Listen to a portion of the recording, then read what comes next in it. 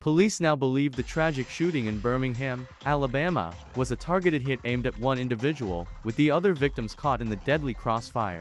The gunfire, which erupted in a popular nightlife area, left four people dead and 17 others injured. What began as a crowded evening turned into a nightmare as chaos broke out. Witnesses described the scene as pure terror as people scrambled for safety. Authorities responded quickly, rushing the injured to hospitals. And now a manhunt is underway to track down those responsible. Investigators are focusing on the theory that the shooters were after one person. But the bullets hit innocent bystanders in the process. This shocking revelation adds another layer to an already devastating incident.